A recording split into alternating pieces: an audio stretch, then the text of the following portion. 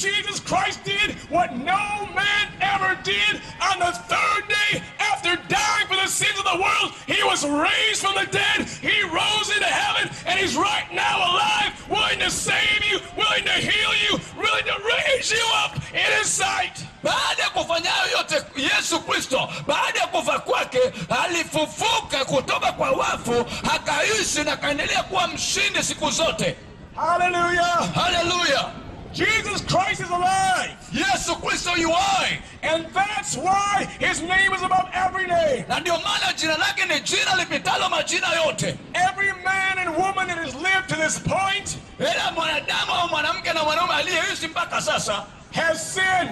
ametenda dhambi And because of their sin, na kwa sababu ya dhambi they have died, watu wamekufa but they've not risen. lakini hawajafufuka But Jesus Christ, lakini yesu kristo. Who never broke the law of God, ambaye hakuvunja amri za mungu. Was raised from the dead, alifufuliwa kutoka kwa wafu. Die no more. Ah, ili asife tena. And only Jesus Christ na sasa yesu tu has the keys of hell and death. ndiye ana ufunguo wa mauti na kuzimu. Only Jesus Christ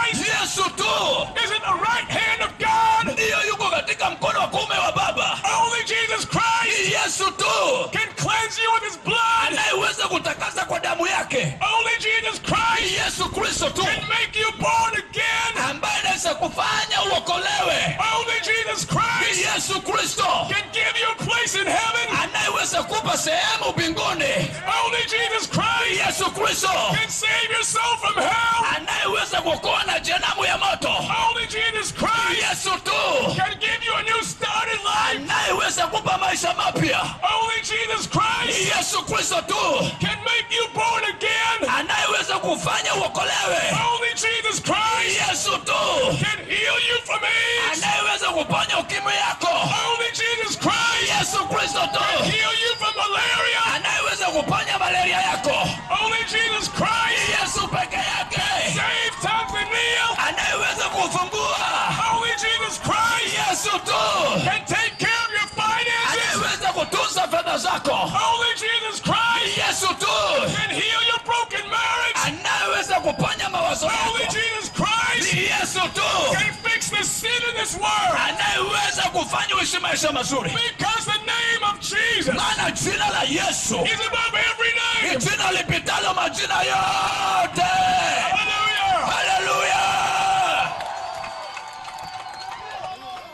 Jesus is the name you need to believe in. yesu ni jina unalopaswa kuliamini Though men might try their best, ingawa wanadamu wanaweza kujaribu wanavyoweza they've still sinned. lakini wote walitenda dhambi Though social systems can try their best, lakini watu wengi wamejitahidi kufanya wanavyoweza they still will fail. lakini bado watashindwa Though the financial institutions will try their best, lakini watu wamejaribu sana kujaribu njia nyingi hata ya kifedha. They cannot guarantee your success. lakini bado hawawezi kukuhakikishia habari ya usalama wako. But Jesus Christ, lakini yesu kristo He never failed. hawezi kushindwa. Jesus Christ yesu kristo. triumphed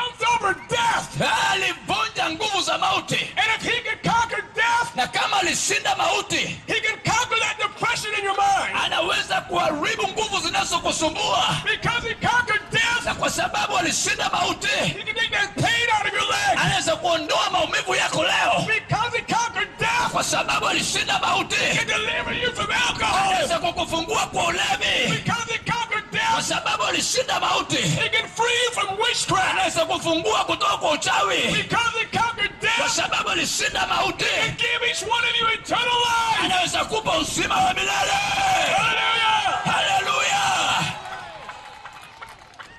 Jesus Christ, yesu kristo simply put, samani pardon Jesus Christ simply yesu kristo kwa urahisi is the only answer ndiyo jibu tu la pekee to every problem you'll ever face. kwa kila tabu uliyo nayo leo Because Jesus Christ maana yesu kristo conquered sin. alishinda dhambi He conquered death. alishinda mauti He conquered the devil. alishinda He shetani conquered hell.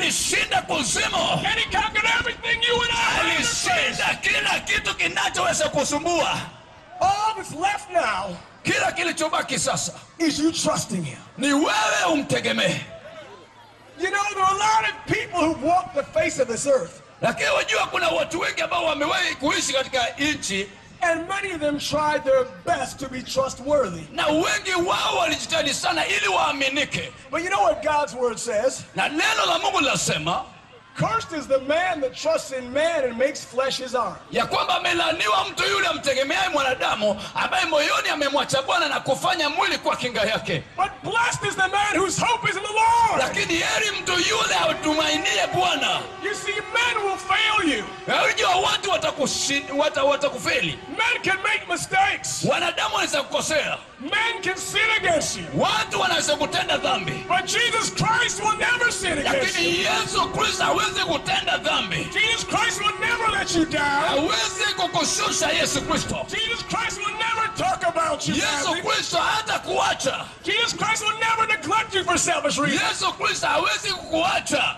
Think about this. hebu fikiri hili Who besides Jesus Christ died on the cross for your sins? je ni nani kati ya yesu nani kando na yesu alikufa kwa sababu ya dhambi zako Your daddy didn't die for you yaani baba yako aweza kufa on the cross. Kwa msalabani Your mother didn't die on the cross for you. baba yako akufa kwa ajili yako msalabani The political figures you trust didn't die on the cross for you. mama yako na hata wanasiasa hakuna hata mmoja aliyekufa kwa ajili yako The soccer, the soccer players you idolized didn't die on the cross for you. hakuna kitu chochote ulichonacho ajili yako msalabani But Jesus Christ of Nazareth, lakini yesu kristo mnazareti 2,000 years before you were born, miaka elfu mbili iliyopita kabla hujasaliwa though he lived a life without sin, aliishi maisha bila dhambi though he didn't need to suffer at all, na alipita katika mateso makubwa he chose to bear the price of your sin on a cruel cross. alichagua kulipa